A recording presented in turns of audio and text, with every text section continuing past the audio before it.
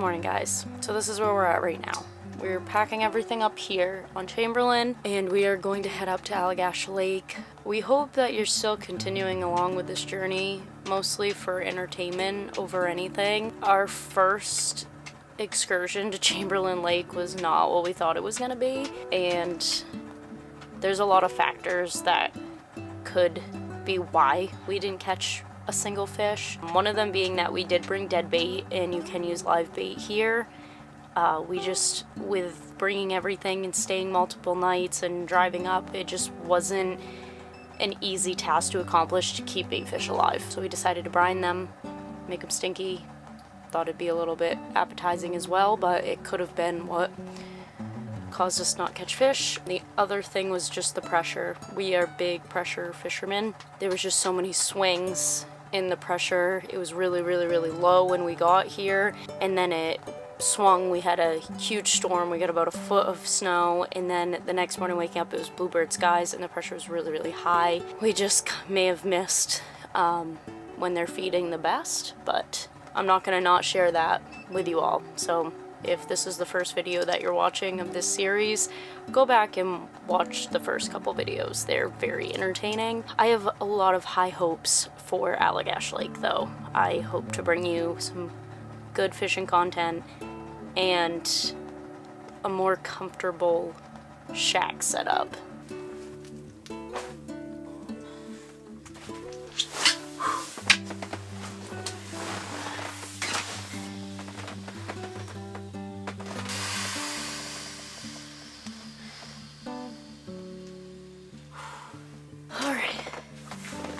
Goal here is to have just everything ready to go so Keenan really doesn't have to come in here and help me with anything. Wow, it's hot.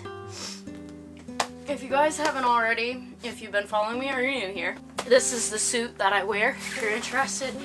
I love it. They're extremely lightweight. One of the best features that I like about this gear is that I can undo the straps on the side, zip it down, and go to the bathroom. And they have a lifetime warranty. Check them out down below. They also have uh, all men's gear. Uh, they have stuff for like spring fishing, summer fishing, rain gear. They have um, UPF 50 shirts, and the other kicker is it's extremely affordable.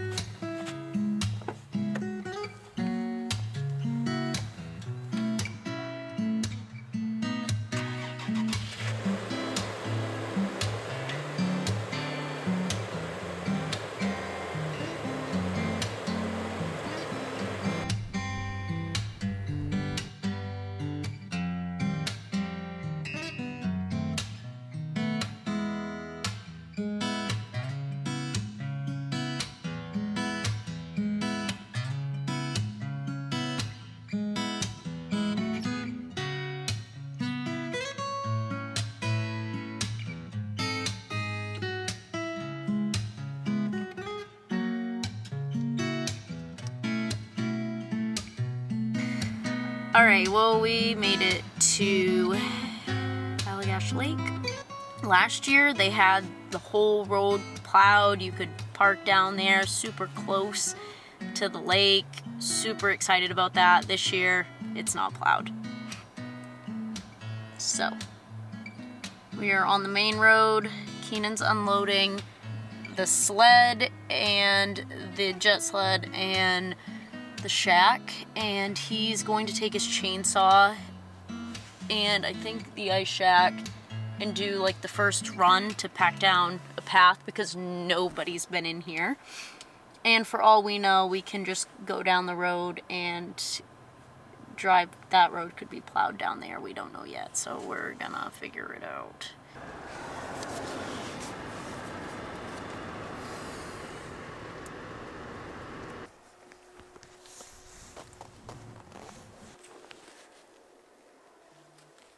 Want this, but I don't know if this is anything. Well, they've completely demolished our trail to get to Allagash Lake. And so we're trying to find the trail. So we're walking. This week has been a week. We've caught no fish. We have gotten flooded out. We soaked the paper towels. I spilt my spaghetti everywhere last night. And now, we can't even get into our favorite place. There's, there's the option to just jet sled in everything, which is just...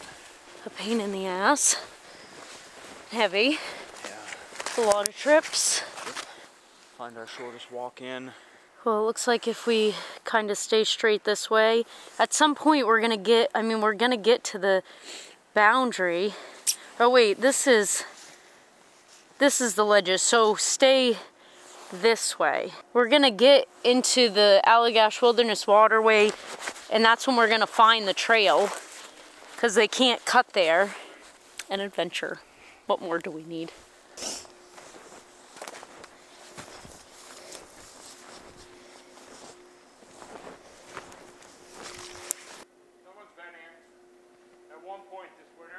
Yeah. Well, we uh, made it out to the pond and brought a canoe with us. And now we're trying to get to the gash, fighting through a whole freaking timber operation, timber operation but uh, we're going for it. We're here for it. Our other, nobody wants to go home. We've just had a ton of casualties. It's been rough. Hopefully Mother Nature will reward us. The universe, higher power, God, Jesus, whoever's putting a damper on our week, just flip it around, please. Someone told me you'd have to redo everything again, but at the end you do get that five pound rookie. I'd do it all again. I'd be right next to you, hon. Thank you. So we're hooking everything back up. We're going for it. It's dark. It's getting dark. It's getting dark. I have to take this moment to just tell Keenan how much I love him and how much I appreciate everything he's done. We've both kind of been having a harder time than normal when we go on trips like this because we're usually catching fish and all good and things happen. And we've both been doing very well with it I think. It is what it is is what we keep saying and we're bound and determined to get into Allagash Lake. Keenan says he doesn't even care if he doesn't catch a fish there. He just wants to get in and continue out this planned trip we also have only eaten a muffin today and my stomach is rumbling. Usually I'm good about having snacks in here while we're driving, but nope, all in the back.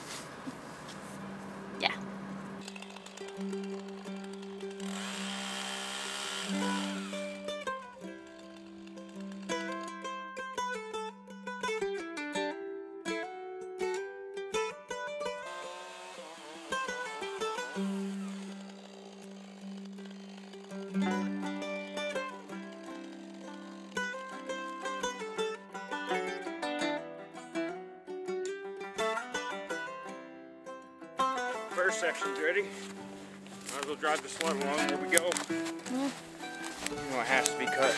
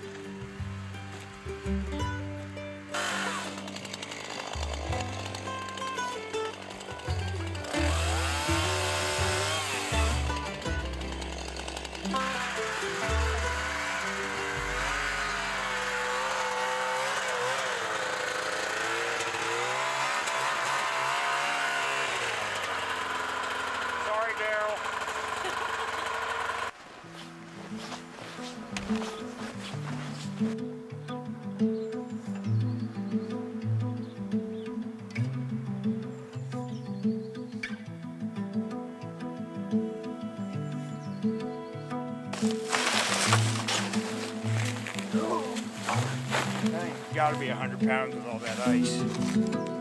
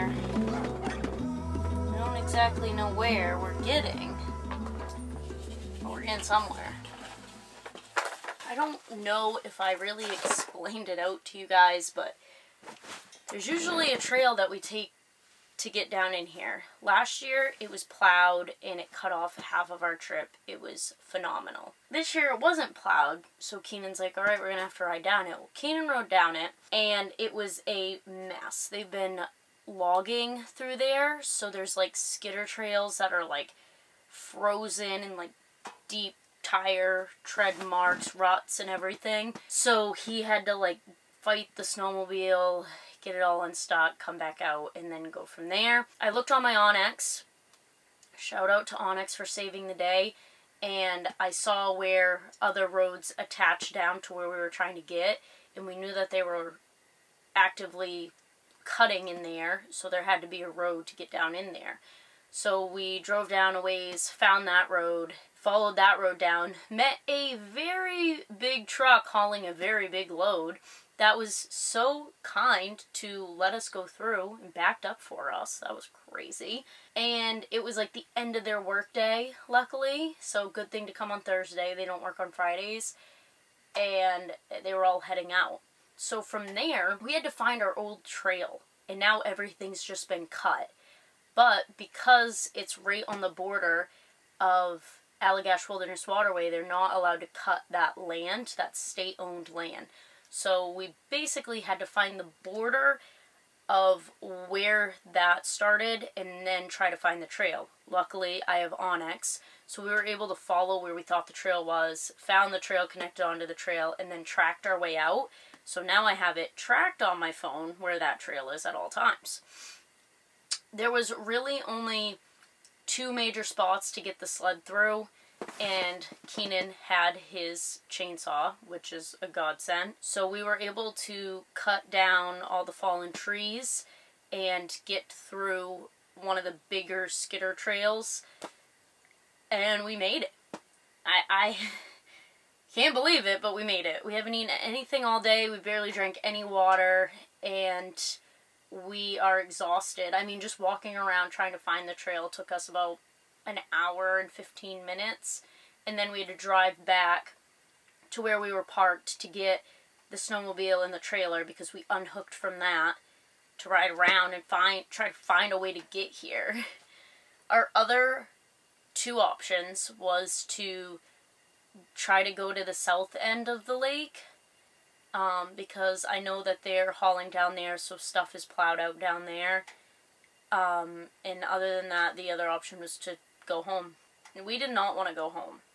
We have been having such a freaking week that we need a reward. And our reward is coming here because we, for one, we love this lake. This is our favorite lake. For two, we're not on the ice, we're on land. And three, we catch fish here. I mean, we always catch fish here. It's been a long day. It's been a real long day.